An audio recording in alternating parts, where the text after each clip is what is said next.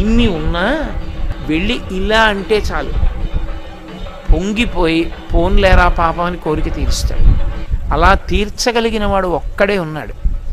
అది కూడా ఇప్పుడు మీరు ఏ కోరిక లేకుండా వెళ్ళి నమస్కారం పెట్టారనుకోండి నమస్కారం పెడితే ఆయన మీకు కాలమునందు రాబోయేటటువంటి ఏడుపుని లెక్క కడతాడు.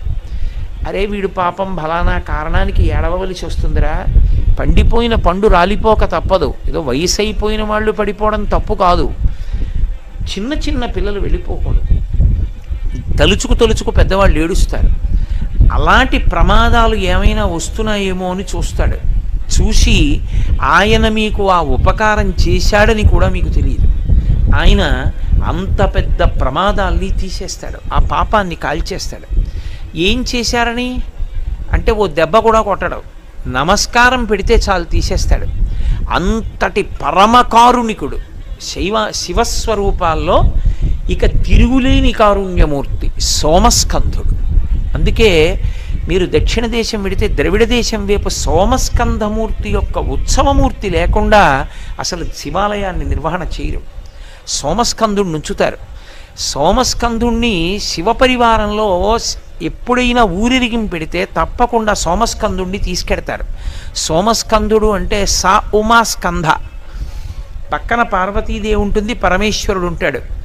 పరమశివుడి తొడ మీద కూర్చోడు పార్వతీదేవి తొడ మీద కూర్చోడు. ఇంత బ్రహ్మజ్ఞాని అయినటువంటి సుబ్రహ్మణ్యుడు ఇద్దరి మధ్యలో చేతులెత్తి ఆడుకుంటుంటాడు.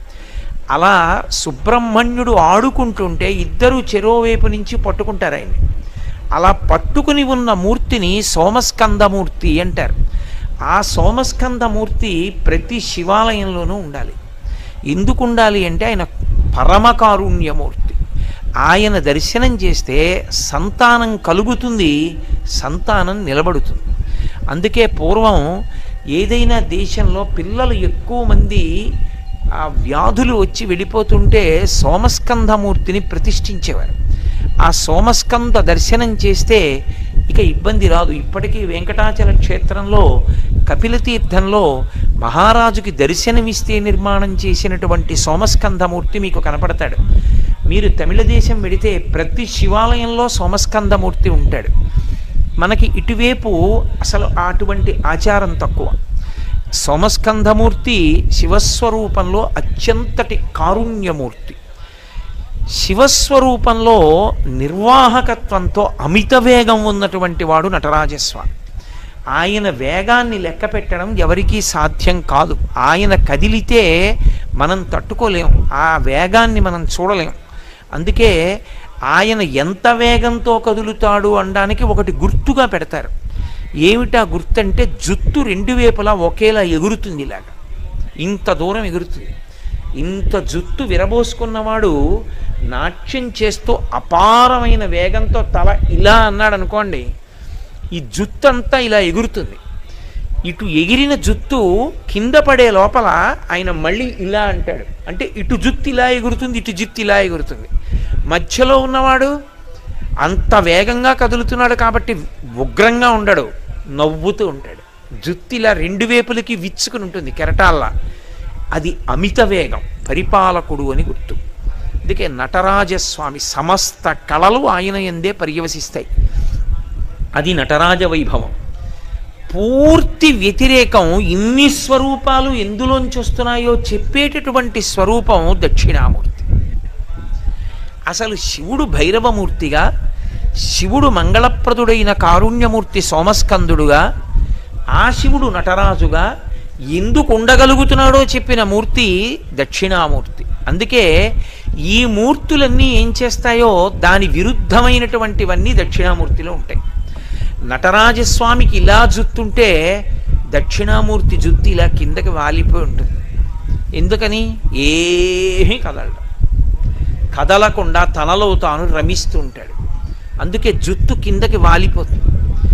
పరమశాంతమూర్తి ఎంత ప్రశాంతంగానో ఉంటాడు. అందుకే అంతటి భైరవుడు ఆయన ఎందు శాంతమూర్తిగా అణిగిపోతాడు. ఇంత వేగంగా కదిలే నటరాజస్వామి ఆయన ఎందు అణిగిపోతాడు.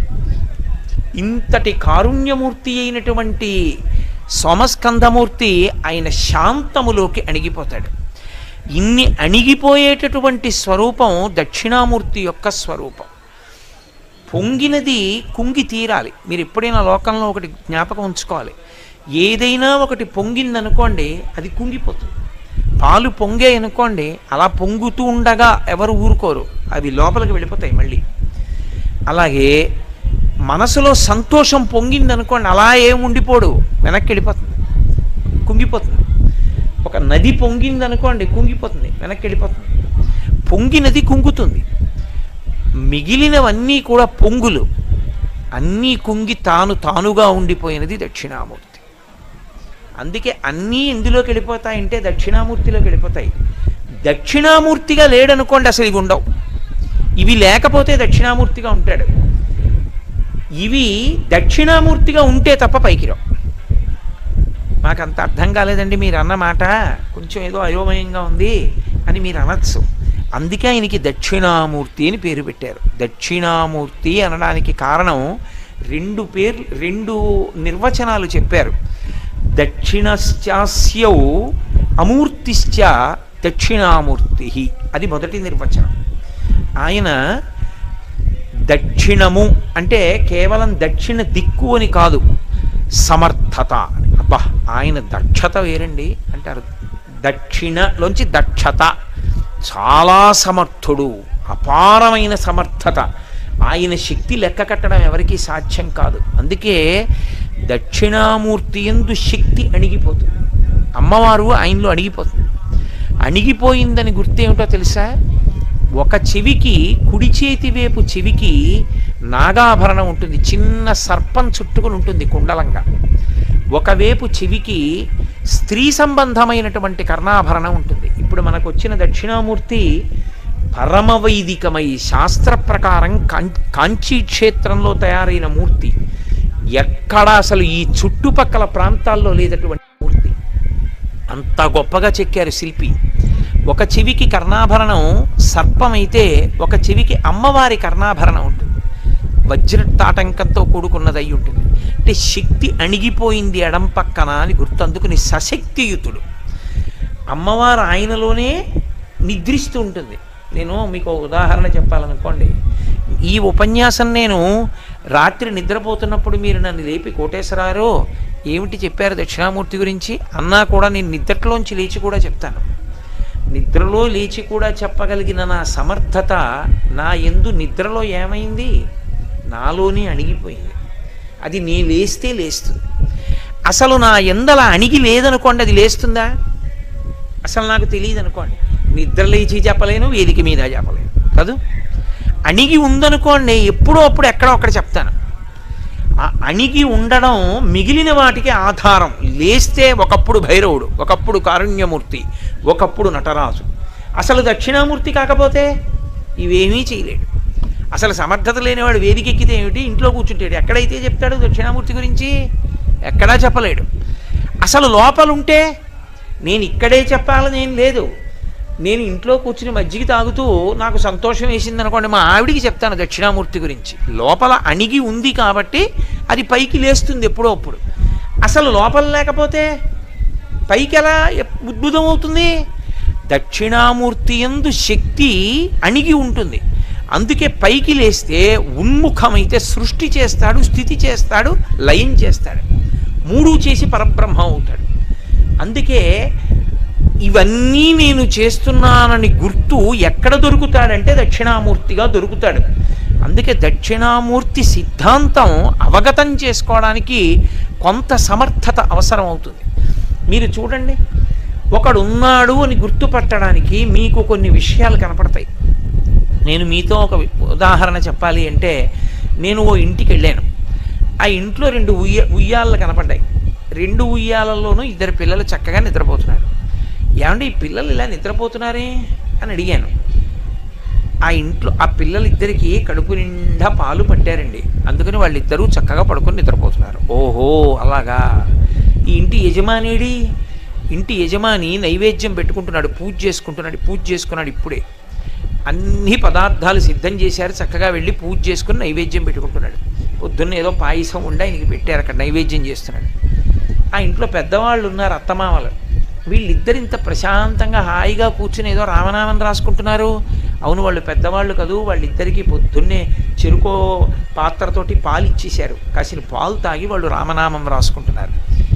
అంటే ఆ ఇంట్లో ఊయలలో ఉన్న పిల్లలకి పాలిచ్చిన వాళ్ళు ఆ ఇంట్లో తన భర్త పూజకి వెడితే పూజకి కావలసిన సంబారాలు పెట్టి నైవేద్యానికి సిద్ధం చేసిన వాళ్ళు వయసైపోయినటువంటి అత్తమామలకి పాలిచ్చి పలహారం ఆయన నైవేద్యం చేసి తెచ్చిన పదార్థం పెట్టే లోపల వాళ్ళ ప్రాణాలు నిలబడడానికి పాలిచ్చిన వాళ్ళు ఆ ఇల్లు శుభ్రం చేసి ముగ్గులు పెట్టిన వాళ్ళు మీకు ఎదురుగుండా కనపడకపోయినా ఉన్నారా లేరా? వాళ్ళు ఉంటేనేనా ఇవన్నీ అయ్యాయి? దక్షిణామూర్తి అన్న మాటకు అర్థం అది. మీరు బయట చూస్తే లెక్క కనపడుతుంది. అది చేసినవాడు ఆయనలో కనపడతాడు. అది చూస్తే తప్ప ఇది చూడడంలో ఉత్సాహం ఉండదు దక్షిణామూర్తిలో. దక్షిణామూర్తిని చూసి పొంగిపోవడం ఎందుకు వస్తుందంటే బయట చూడడం రావాలి. బయట చూడడం అంటే నేను చెప్పే కదూ? ఇంటి పరిస్థితి అంతా చూసి ఇలా తల తిప్పి చూశారు. కృష్ణ భగవానుడు ఉన్నాడు గూట్లో. ఆయనకు తులసిమాల వేసేసి ఉంది. చక్క ఇల్లంతా తుడిచేసి ఉంది. ఎక్కడి వస్తువులు అక్కడ పెట్టేసి ఉన్నాయి. ఇంటి కోడలేది అసలు ఇవన్నీ చేసినావిడేది? ఆవిడ ఎక్కడో ఏదో బట్టలు మడతెట్టుకుంటుంది ఆవిడ కనపడలేదు. కానీ ఆవిడ ఉందా లేదా ఇవన్నీ చేసిందంటే అం- ఇంతమంది ప్రశాంతతకి కారణం ఆవిడే. మహాతల్లి అందుకని ఇంటిని చూసి ఇల్లాల్ని చూడండి అంటారు. ఏదండి ఆ మహాతల్లి ఒక్కసారి ఆవిడకి దండం పెట్టుకోవాలంటే అప్పుడు వస్తుంది.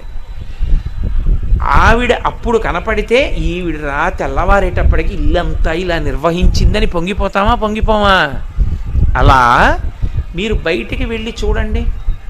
నేను బరువెత్తమంటే దీన్ని ఎత్తమన్నారనుకోండి ఏదో కష్టం మీద మొత్తానికి ఎత్తుతాను రెండు చేతులతోటి. మీరు ఒక చీమను తీసుకొచ్చి ఎత్తమన్నారనుకోండి ఎత్తుతుందా? ఎత్తలేదు. ఓ ఏనుగుని తీసుకొచ్చి దీన్ని ఎత్తమన్నారనుకోండి ఎత్తి మూడు సందుల అవతలకి విసిరేస్తుంది. ఏనుక్కి పెట్టిన శక్తి నాకు పెట్టలేదు. నాకు పెట్టిన శక్తి చీమకి పెట్టలేదు.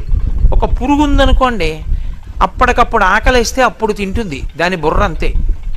ఓ బొద్దింకు ఉందనుకోండి ఇంత ఉంటుంది. ఆ బొద్దింక అప్పుడు ఆకలేస్తే అప్పుడు వెతుక్కుని ఏదో ఎక్కడో అక్కడ ఏదో ఒకటి తింటుంది. దానికన్నా కోటి రెట్లు చిన్నది చీమ ఇంత ఉంటుంది. అది వర్షాకాలం వస్తుందని పంచదార రేణువులు జాగ్రత్తగా గోడ పక్క నుంచి తీసుకెళ్ళి కన్నంలో దాచుకుంటుంది.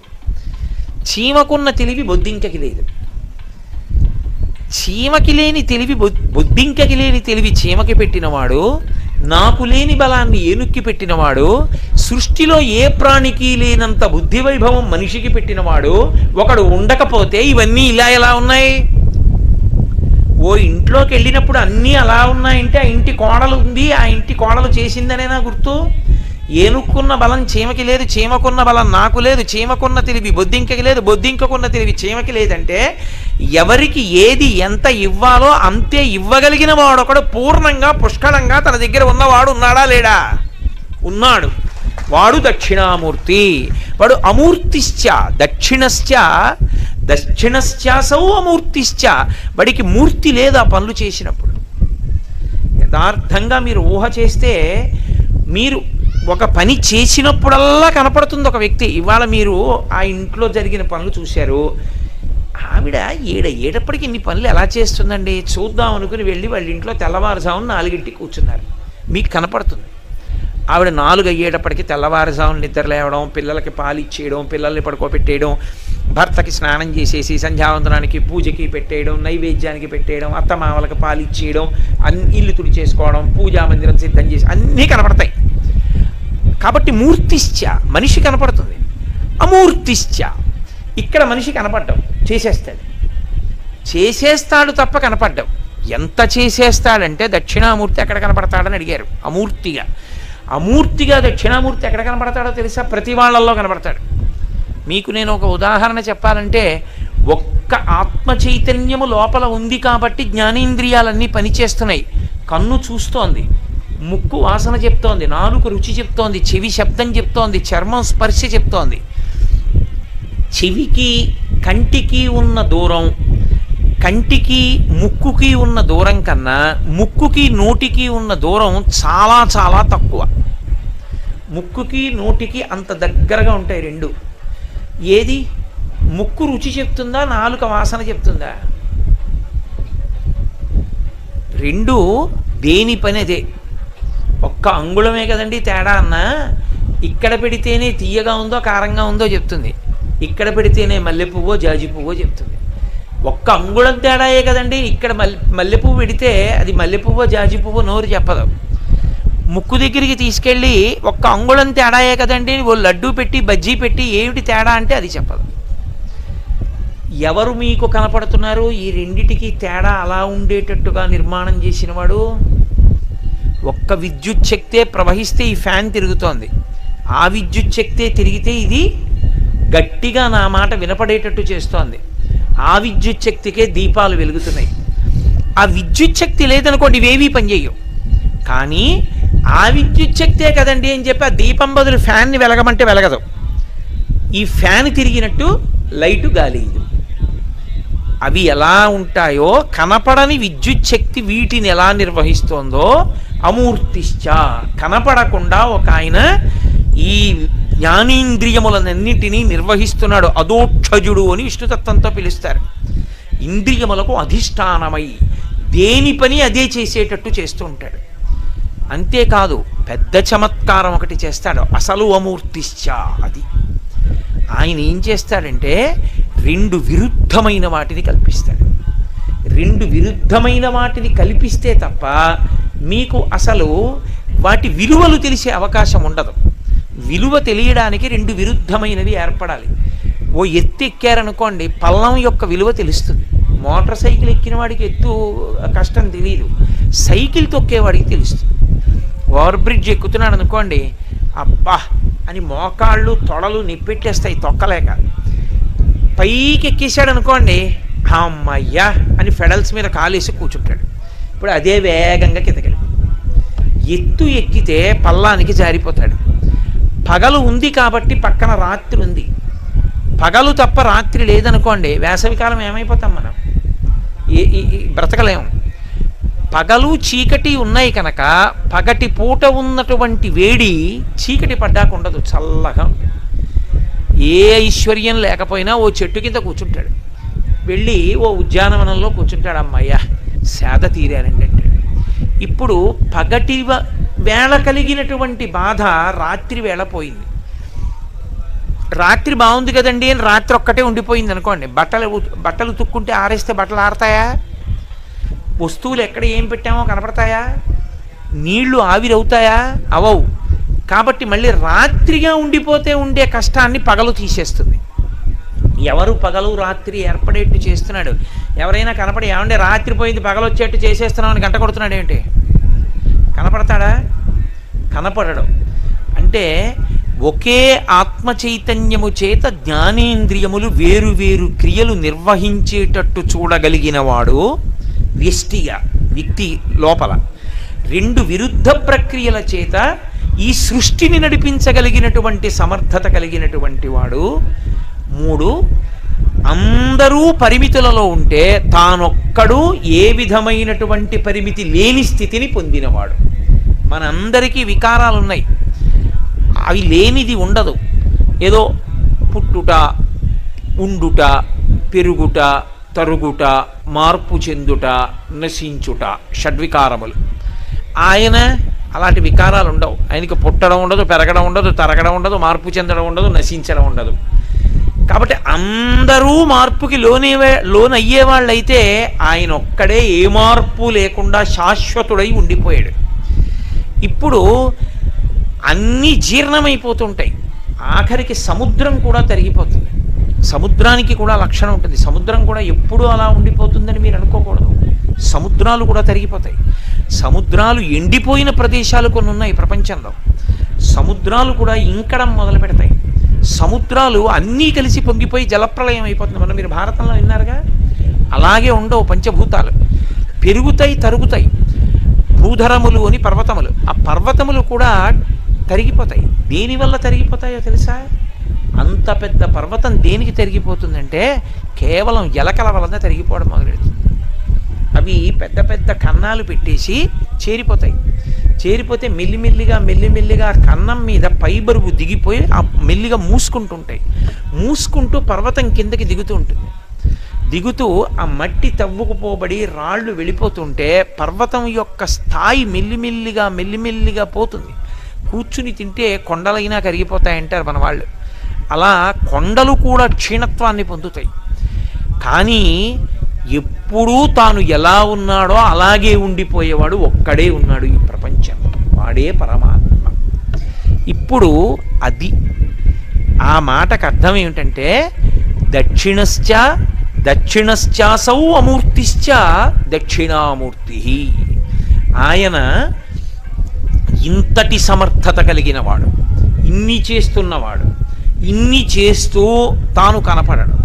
ఏదో ఒక ఇంట్లో కోడలు కనపడ్డట్టు ఏమండి ముక్కుకి వాసన చెప్పేట్టిచ్చినవాడు నాలుగుకి రుచి చెప్పేట్టిచ్చినవాడు నాలుక వాసన చెప్పకుండా చేసినవాడు ముక్కు రుచి చెప్పకుండా చేసినవాడు ఎవరో నేను చూస్తానండి అంటే కనపడ్డా. ఆయనని చూడాలని మీరు అనుకుంటే ఎవరిని చూడాలని అడిగారు. దక్షిణామూర్తిని చూడాలి. ఎందుకో తెలుసా? ఒక్కటే కారణం. దక్షిణామూర్తి పరమ ప్రశాంతంగా ఉంటాడు. పరమ ప్రశాంతంగా ఉన్నవాడి మనసు శుద్ధిగా ఉంటుంది. కాబట్టి సమర్థతలన్నీ అణిగి ఉంటాయి. అణిగి ఉన్నాయి కాబట్టి ఆయన ఎప్పుడు ఏం చెయ్యాలనుకుంటున్నాడో అప్పుడు ఆ రూపంగా మారుతూ ఉంటాడు. అది లోక కళ్యాణం కోసం మారతాడు. అన్ని సమర్థతలు తన ఎందు పెట్టుకున్నాడు కాబట్టే అవసరమైతే నటరాజుగా ఉంటాడు. అవసరమైతే భైరవుడుగా ఉంటాడు. అవసరమైతే సోమస్కందుడుగా ఉంటాడు. ఇవేమీ అక్కర్లేదనుకున్నప్పుడు ఆయన యథార్థ స్వరూపం ఏమిటి అంటే దక్షిణామూర్తి. అన్ని శక్తులు తన ఎందే ఉంచుకుని ప్రశాంతంగా ఏ కదలిక లేకుండా తనలో తాను రమిస్తాడు. ఇప్పుడు అలా ఉంటే ఏమిటండి ప్రయోజనం అని మీరు అడగచ్చు. దక్షిణామూర్తి యొక్క స్వరూపానికి ఉన్న గొప్పతనం ఏమిటంటే అసలు మనం మనుష్య జన్మలోకి వచ్చిన తరువాత మీరు ఏ కార్యక్రమం చెయ్యండి అన్నిటి యొక్క ప్రయోజనము ఒక్కటే శాంతి. నేను మీతో ఒక మాట చెప్తాను నన్ను తప్పుగా అర్థం చేసుకోకండి. మనం ఒక పని చేస్తే అవతల వాళ్ళకి ఉపకారం జరుగుతుంది అని అనుకుంటాం. దానికన్నా ముందు ఏమవుతుందో తెలుసా? మనకి శాంతి కలుగుతుంది. ఇప్పుడు హరిప్రసాద్ గారు దక్షిణామూర్తి ధ్యాన మంటపాన్ని నిర్మాణం చేశారనుకోండి మనం ఎంతమందిని దాన్ని సద్వినియోగం చేసుకున్నామన్న దాన్ని పక్కన పెట్టండి. పరమేశ్వరుడు నాకు ఐశ్వర్యం ఇచ్చినందుకు నేను ఒక మంచి పని చేశానన్న తృప్తి ఆయనకి కలిగిందా లేదా? ముందు చేసిన వాడికి ఏమొస్తుందంటే అవతల వాడికి ఏదో చేయడం కాదు తాను శాంతి పొందుతాడు. అసలు లోకంలో ఇది పెద్ద రహస్యం. ఎవడు ఏది చేసినా వాడు చేసినట్టుంటుంది కానీ ఇతరులకు ఉపకారం చేసినట్టుంటుంది కానీ అది చేయడంలో వాడికి శాంతి ఉంది. ఇప్పుడు నేను ఈ దక్షిణామూర్తి వైభవాన్ని మీకు ఎందుకు చెప్తున్నానో తెలుసా? ఈ చెప్పడంలో నాకు శాంతి ఉంది. అమ్మయ్యా అక్కడ ప్రతిష్ట జరుగుతుంటే నా స్వామి గురించి రెండు రోజులు చెప్పుకున్నాను. నాకు ఎంతో శాంతి ఉంటుంది. విని మీరేం పొందారో ఈశ్వరుడికి తెలియాలంతే. కానీ నాకు మాత్రం శాంతి ఉంది. అందరూ ఏమనుకుంటారంటే పాపం కోటేశ్వరారు రెండు రోజులు ఉపన్యాసాలు చెప్పారండి అంటారు. దాంట్లో నాకు కష్టం ఉంటే మీరు గుర్తుపెట్టుకోండి అసలు నేను ఉపన్యాసాలు చెప్పలేను. ఇలాంటి మంచి పనులు చేయడం కష్టం హరిప్రసాద్ గారికి అయితే ఎవడు చేస్తాడు ఎందుకు వచ్చింది అనుకుంటే ఆయన చేయలేరు. ఆ చేయడంలో శాంతి ఉంటే వాడు చేయగలుగుతాడు. ఏది చేస్తే ఎవడికి శాంతి కలుగుతోంది అన్న దాన్ని బట్టి వాడికి ఈశ్వరుడు అనుగ్రహం ఎంత ఉందో తెలుస్తుంది. ఒకడికి నిష్కారణంగా అవతల వాడిని కొడిగితే కొడితే శాంతి పొందాడు అనుకోండి వాడి ఎందుకు రాక్షసత్వం ఉంది ఈశ్వరానుగ్రహం లేదు. ఒకడు నిష్కారణంగా ఓ చెట్టు దగ్గర నిలబడి ఆకులు తుంపుతూ మాట్లాడతాడు. అదో హింస. ఎందుకు ఆకులు తుంపడం? అంటే వాడిలో పైశాచిక ప్రవృత్తి ఉంది. ఒక ఆయనకి దక్షిణామూర్తికి ధ్యాన మంటపం కట్టడంలో శాంతి ఉంది. అంటే ఆయన ఈశ్వరానుగ్రహాన్ని పొందాడని గుర్తు. ఒక ఆయన సరోవరానికి మెట్లు కట్టాడు. ఏ ఆడబులు కూడా పెట్టుకుని ఆయన ఇంట్లో సుఖంగా ఉండాలి ఇంకో కారు కూడా కొనుక్కుని. అంటే ఇది కట్టి పది మంది స్నానం చేస్తారని ఆయన పొంగిపోయాడు. ఒక మంచి పని చేత శాంతి పొందితే ఈశ్వరానుగ్రహాన్ని కలిగి ఉన్నాడని మీరు నిర్ధారించవచ్చు. అది నిలబెట్టుకోవాలి పెంచుకోవాలి. అది ఎందుకు పోతుందంటారేమో? నే చేశాను నే చేశాను నే చేశాను అంటూ ఉంటే తీసేస్తాడు. ఎందుకని? చేయడానికి సమర్థతలన్నీ ఆయన ఇచ్చినవి సమర్థతలన్నీ ఆయనవి. అన్ని శక్తులు ఆయన ఎందు అణిగి ఉన్నాయి. ఆ శక్తి ఇచ్చి అవునరా నువ్వే చేశావురా అని పొంగిపోతాడు. స్వామి నన్ను అలా బుకాయించకండి మీరు చేయించారన్నారు అనుకోండి చాలా పొంగిపోతాడు అది తేడా. కాబట్టి యథార్థమునకు ఒక మంచి పని చేసేటప్పుడు అది చెడ్డ పని కానివ్వండి కానీ నేను దాన్ని సోదాహరణంగా పేర్కొనకూడదు కాబట్టి ఒక మంచి పని చేయడం వల్ల అవతల వాళ్ళు ఎంత శాంతి పొందారు పక్కనుంచండి చేసిన వాడు శాంతి పొందుతాడు. ముందు అది లక్షణం. వైదిక సంప్రదాయంలో చేసి శాంతి పొందాలి. చేసి శాంతి పొందితే అది నువ్వు ఏది చేసి శాంతి పొందుతున్నావో అన్నది ప్రమాణం. అది నడవడిని గమనించుట అన్న మాటకు అర్థం ఏంటంటే ఈయన ఎప్పుడు సంతోషంగా ఉంటాడు? దేనికి సంతోషంగా ఉంటాడు? సినిమాకెడితే సంతోషంగా ఉంటాడా? భారతం చదువుకుంటుంటే సంతోషంగా ఉంటాడా? ఓ గుళ్ళోకెడితే సంతోషిస్తాడా? ఇంట్లో ఏసీ వేసి పడుకుంటే సంతోషిస్తాడా? తనకున్న దాంట్లో ఇతరులకి ఏదైనా మంచి పని చేద్దామని తాపత్రయపడి సంతోషిస్తాడా? దాచుకు సంతోషిస్తాడా? అది చారిత్రమేవ వ్యాఖ్యాతి అంటాడు రామచంద్రమూర్తి రామాయణంలో. ఒక వ్యక్తి నడవడిని గమనించు దేని చేత శాంతి పొందుతున్నాడో చూడు. దానిని బట్టి ఈశ్వరానుగ్రహం ఉన్నదా? పైశాచిక ప్రవృత్తి ఉన్నదా? లెక్క పెట్టుకో. గురువేం చెయ్యాలి? మంచి పనుల చేత శాంతి పొందుతున్నవాడైతే అహంకారం పొందకుండా ఇంకా మంచి పనులు చేసేట్టు చెయ్యాలి. అది గురువు యొక్క కర్తవ్యం. ఎందుకని? శిష్యుడు అక్కడ పాడవకుండా చూస్తుండాలి గురువుగారు. ఇప్పుడు దక్షిణామూర్తి స్వరూపంలో ఏముంది? శాంతం ఒక్కటే ఉంది. ఎందుకని? అన్నీ అణిగిపోయాయి ఆయన ఏమీ చేయడు. పరమ ప్రశాంతంగా ఉంటాడు. సమర్థత లేక కాదు. అన్ని సమర్థతలు ఉన్నాయి కానీ ప్రశాంతంగా కూర్చున్నాడు. మీరు చూడండి సాధారణంగా చాలా పెద్ద అధికారి ఆయన ఆయనతో చాలా చాలా ముఖ్యమైన విషయం మాట్లాడాలనుకోండి ఎలా ఉన్నారు లోపల అని అడుగుతారు. చాలా హడావిడిగా ఉన్నారండి. ఏం మీరు వచ్చారని చెప్పమంటారా పిలుస్తారు? మీరంటే అభిమానమే అన్నారనుకోండి వదిలే తర్వాత వస్తాను. ఏ టైంలో కాస్త ప్రశాంతంగా ఉంటారే అయినా అని అడిగితే సార్ ఆదివారం నాడు మాత్రం సాయంకాలం పూట ఎక్కడికి వెళ్ళరండి ఆయన? ఆరు నుంచి ఏడు విష్ణు సహస్రనామ స్తోత్రం చదువుకుని ఏడు నుంచి ఎనిమిది ఎవరితో మాట్లాడరు. ఎవరో ఇదిగో మీలాంటి వాళ్ళు మరీ ముఖ్యమైన వాళ్ళు వస్తే పలకరిస్తారు. ప్రశాంతంగా కూర్చుంటారండి ఇంట్లో. అంటే అయితే ఈ ఆదివారం ఏడున్నరకు వస్తాను ఒకసారి అంటాడు. ఎందుకని? పరమశాంతంగా ఉన్నవాడి దగ్గర ముందు మీకు శాంతి కలిగేలా కార్యం నిర్వహింపబడుతుంది. మీకు శాంతి ఎప్పుడు దొరుకుతుంది? మీ పని అయితే. అది ఎప్పుడవుతుంది? అవతలవాడు శాంతంగా ఉంటే. ఇన్ని సమర్థతలు ఉన్నవాడు పరమశాంతంగా ఎప్పుడు ఉంటాడు దక్షిణామూర్తిగా ఉంటే. అంటే ఏ కోరిక తీరాలనుకున్నవాడైనా ఎక్కడికి వెళ్ళాలి? ఆయన దగ్గరికి వెళ్ళాలి. అందుకే అక్కడ కొబ్బరికాయలు బతలు కొట్టడాలు అవి అక్కర్లేదు.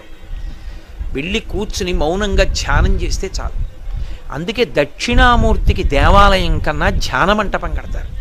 అందుకే మీరు చూడండి దక్షిణామూర్తిని దేవాలయంగా నిర్మాణం చేయడం కన్నా దక్షిణామూర్తికి శైవాగమం ఏం చెప్పిందంటే దక్షిణం గోడలో పెట్టమని చెప్పింది. బయటకు కూడా పెట్టరు. పెట్టకుండా అది ధ్యాన మంటపం అయితేనే బయట పెడతారు మూర్తిని. శైవాగమంలో శివాలయంలో దక్షిణం గోడలో ఉండాలి. దక్షిణం గోడలో ఉంటే ఏమవుతుంది? గోడ దగ్గరికి వెళ్ళినప్పుడు అభిముఖంగా కూర్చోవచ్చు. ప్రధాన మూర్తి దగ్గర అభిముఖంగా కూర్చోకూడదు. ఇప్పుడు మీరు శివాలయంలోకి వెళ్ళారనుకోండి ఇలా ఎదురుగుండా నిలబడి నమస్కారం చేయకూడదు. మీరు తట్టుకోలేరు ఆ తేజస్సు.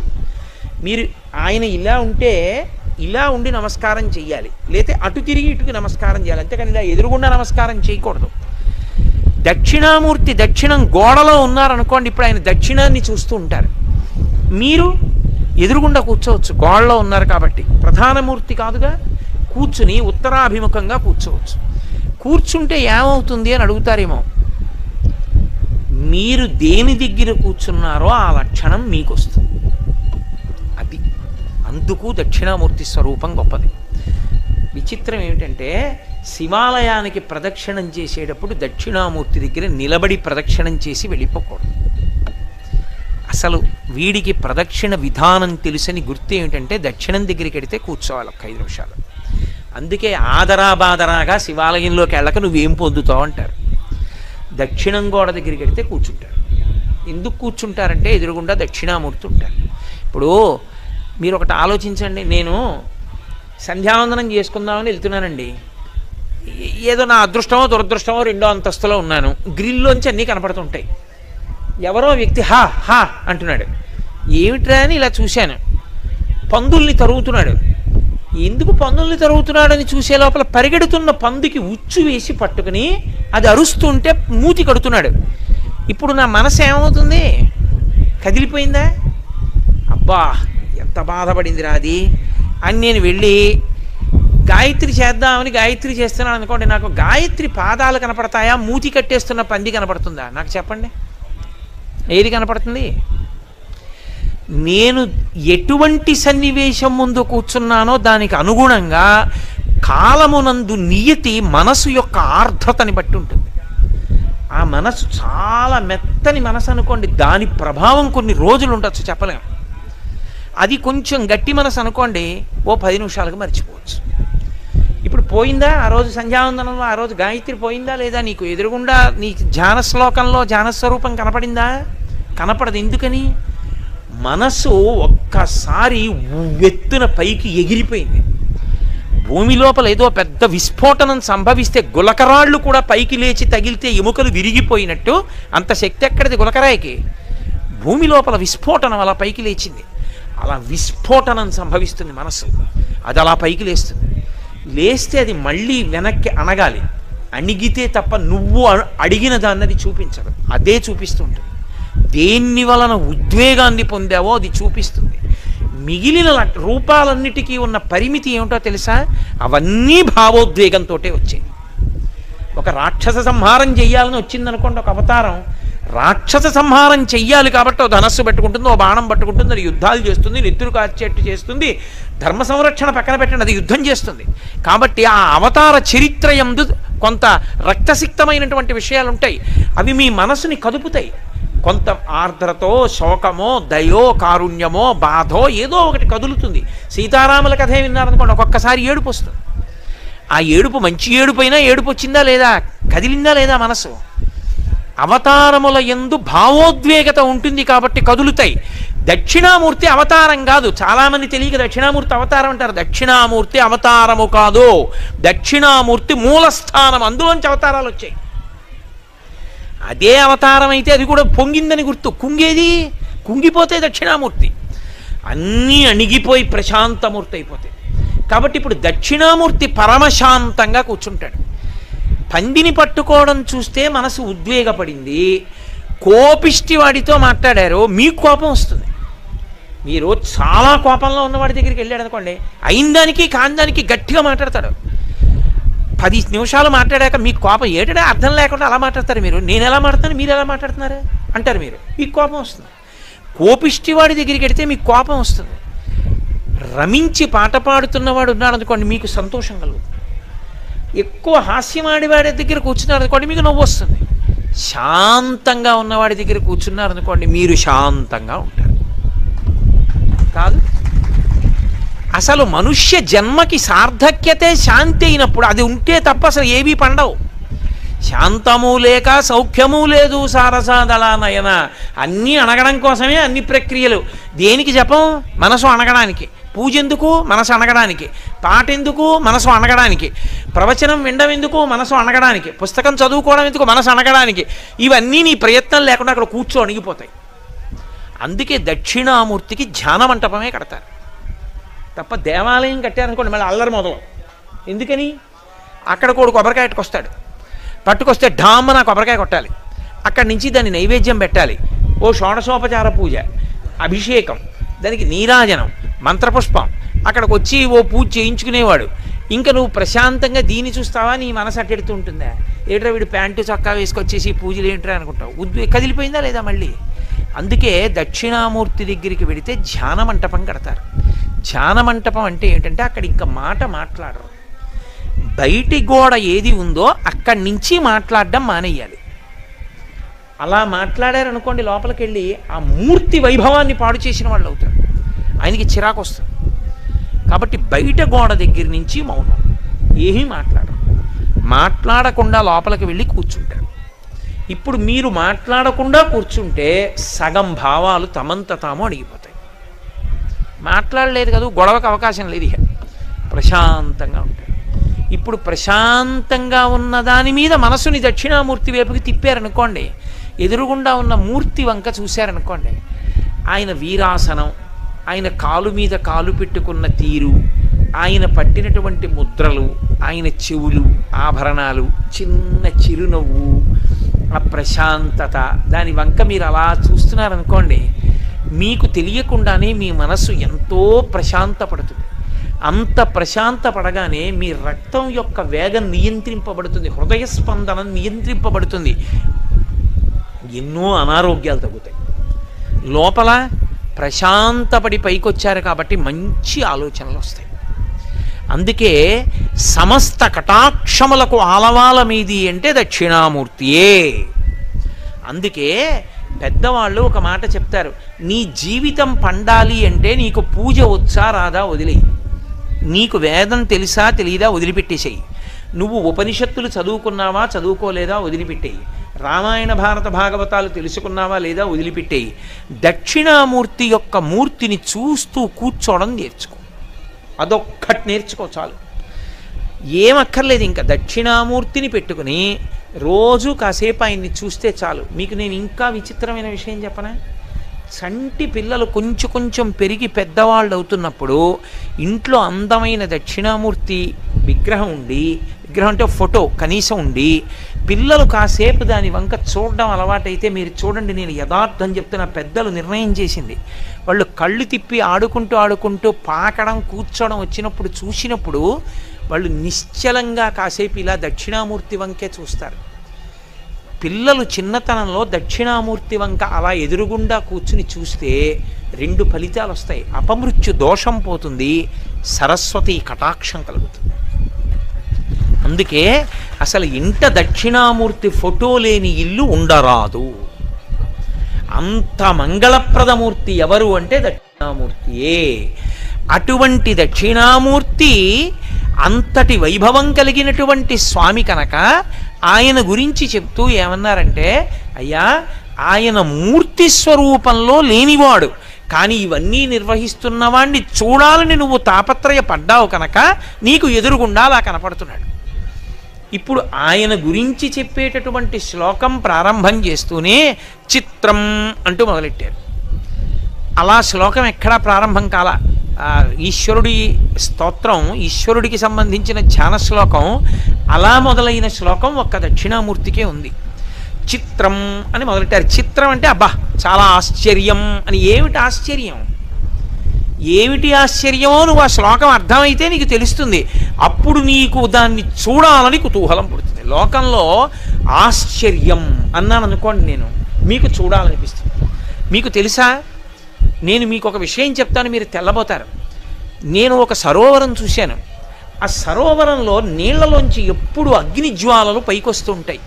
ఎంత విచిత్రం అంటే మనం ఒకవేళ ఆ సరోవరంలో స్నానం చేస్తూ అగ్ని జ్వాలల్లోంచి అలా బయటికి వచ్చినా ఒళ్ళు కాలదు. ఎంత ఆశ్చర్యం అని నేను అన్నాను అనుకోండి.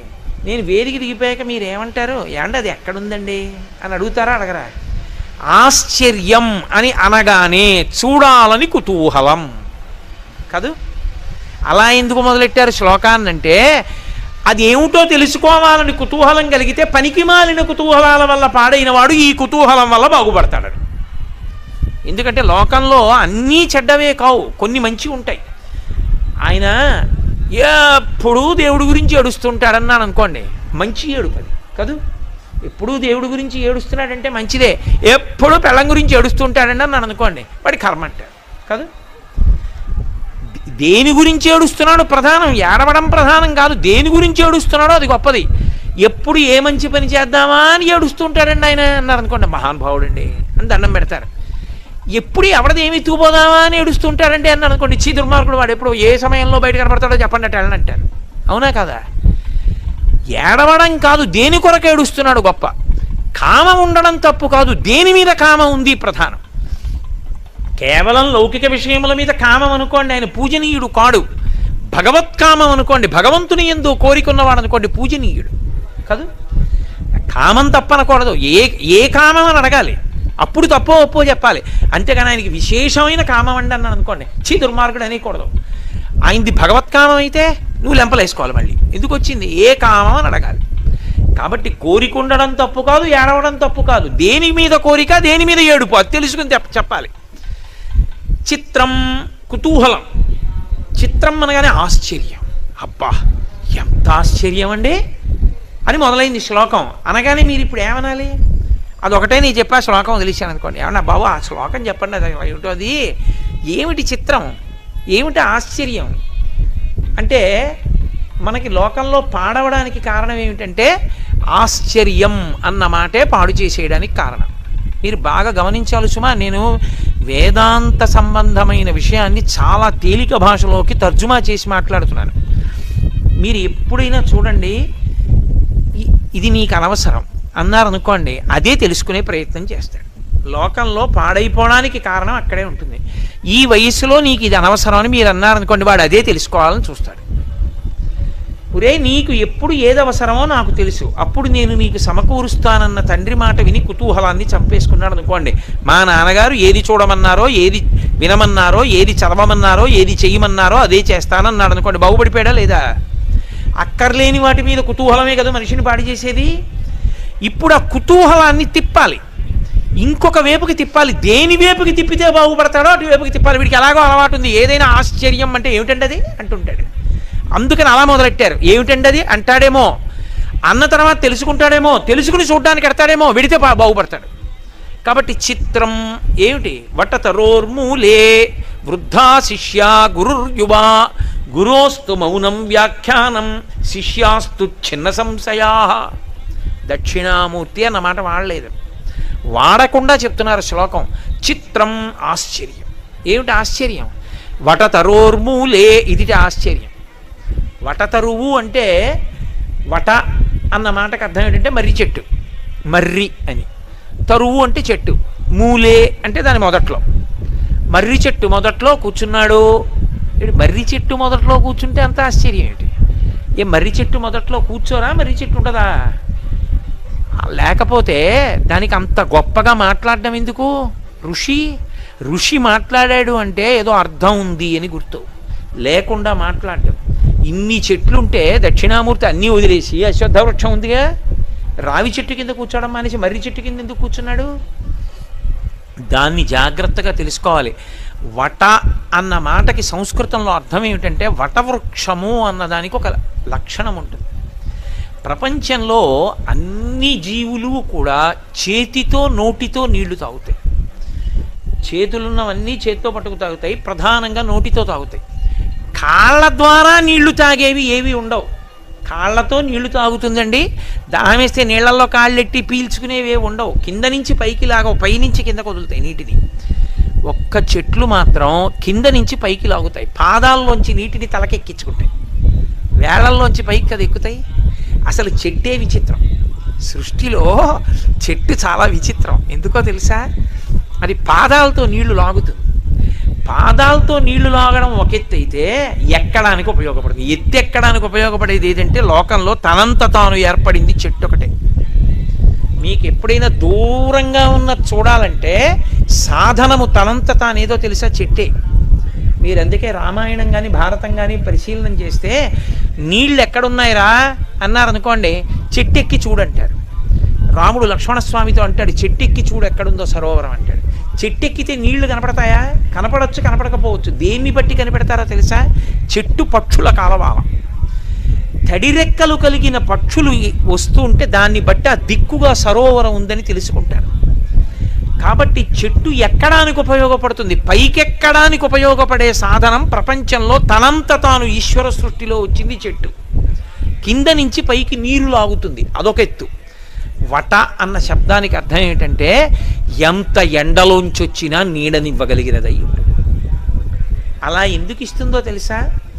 వటవృక్ష ఛాయ ఎందు విశ్రాంతి పొందినాడు అంటారు బాటసారులందరూ మర్రి చెట్టు దగ్గరికి వెడితే సద్దెన్నపు మూట విప్పుకుని తింటారు.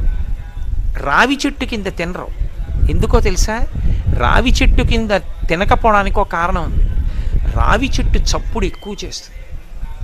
మీరు ఎప్పుడైనా చూడండి చిన్న గాలేసింది అనుకోండి మీరు ఏ వేప చెట్టు దగ్గరో కుంకుడు చెట్టు దగ్గరో మామిడి చెట్టు దగ్గరో కళ్ళు మూసుకు కూర్చున్నారనుకోండి గాలి వేస్తే పెద్ద చప్పుడు ఉండదు. రావి చెట్టు దగ్గర కూర్చోండి తుఫాన్ వచ్చినట్టు ఉంటుంది. అంత గలగల గలగల కదులుతాయి ఆకులు. మర్రి చెట్టు ఉందనుకోండి మర్రి చెట్టు ఇచ్చినంత నీడ ఇక ఏ చెట్టు ఇవ్వదు ప్రపంచం. ఒక్క మర్రి చెట్టుకే సాధ్యం. కారణం ఏమిటో తెలుసా? తన మూలాన్ని తానే కమ్ముకుంటుంది గుండ్రంగా. అది ఒక్క మర్రి చెట్టుకే శాఖా విస్తరణ. అది మిగిలిన అన్ని చెట్లు కూడా మొదలు నశించిందనుకోండి ఏ కారణం చేతనైనా కూడా. కొన్ని కొన్ని కారణాలకి మొదళ్ళు పోతాయి చెట్లకి. ఎందుకు పోతాయంటే చెట్టుకి తొర్రొస్తుంది ముందు. ఆ కాండంలో పెద్ద కాండం అయిన తర్వాత కాండంలో తొర్రొస్తుంది తొర్రలో పుచ్చొస్తుంది పుచ్చులో విరిగిపోయిన కర్ర మొక్కలన్నీ పడతాయి. ఈ దుర్మార్గులైన వాళ్ళు ఏం చేస్తుంటారంటే తీసుకెళ్ళి త్వరలోకి తీసుకెళ్ళి కొన్ని వస్తువులు దాస్తూ ఉంటారు ఏ పని మీదో వెడుతూ ఆ త్వరలోకి తీసుకెళ్ళి అగ్గిపెట్టి అవి పెడుతూ ఉంటారు ఎవడో ఒక దుర్మార్గుడు పొరపాటున ఒక నిప్పు రవ్వను అందులో పడేశాడు అనుకోండి తొర్రలో ఆ చెట్టు పరిస్థితి ఎలా ఉంటుందో తెలుసా? కడుపు నిప్పితో ఊగిపోతూ పైన పెద్దవాళ్ళతో మాట్లాడుతున్న వ్యక్తి ఎలా ఉంటాడో అలా ఉంటాడు. అది లోపల కాలిపోతుంటుంది. పైకి పచ్చగా కనపడుతుంది ఆ తొర్ర కాలిపోయింది అనుకోండి కొన్నాళ్ళకి ఆ చెట్టు చచ్చిపోతుంది. ఇక నీరు పైకి ఎక్కదు. అందుకని పైన అంతా ఎండిపోతుంది. అలా ఒక మొదలు కాలిపోతే మరణించని ఏకైక చెట్టు మర్రి చెట్టు ఒకటే. మర్రి చెట్టుకు అలా చావు రాదు. ఎందుకో తెలుసా? అది ఆకాశంలోంచి వేళ్ళు దింపుతుంది. కొమ్మ ఇలా వెళ్ళిందనుకోండి ఇలా వెడితే అక్కడ ఒక వేరు దింపుతుంది. చెట్టులోంచి వేరు వస్తుంది అన్నిటికీ భూమిలోనే వేళ్ళుంటాయి ఇంకా పైకి ఇలా ఎక్కవు. ఒక్క మర్రి చెట్టుకి పైనుంచి కిందకి దిగుతాయి. దిగి అవి భూమిలోకి వెళ్ళిపోతాయి. వెళ్ళిపోయి దాన్ని అవే పెనవేసుకుని మళ్ళీ పెద్ద కొమ్మలాగా నిలబడిన స్తంభంలా తయారైపోతాయి. ఇవి నీళ్ళు లాగేస్తాయి. లాగేసి కొమ్మకి ఇచ్చేస్తాయి. అందుకే ఇక్కడికి పోయిందనుకోండి అక్కడ అలాగే మళ్ళీ బతికేసి మళ్ళీ ఆధార వేళ్ళు దింపేస్తాయి. అందుకే ఒకసారి మర్రి చెట్టు పుట్టిందా ఇక ఆ మర్రి చెట్టుకి చావు ఉండదు. రెండు మర్రి చెట్టు తన చుట్టూ తాను విస్తరించుకుని వెళ్ళిపోతుంది. ఏం బుత్తినే అన్నాడు ఋషి అనుకోకండి వట తరు అన్న రెండు మాటలు వేశాడు అంటే దానికి అంత గూఢమైనటువంటి అర్థం పెట్టి వేశాడు ఆయన. రెండు మీరు ఒక మార్గాన్ని నిర్మాణం చేసి దాని పక్కన మర్రి చెట్టు వేశారనుకోండి కొన్నాళ్ళ తర్వాత ఇంకా మార్గాన్ని మూసేస్తుంది అది.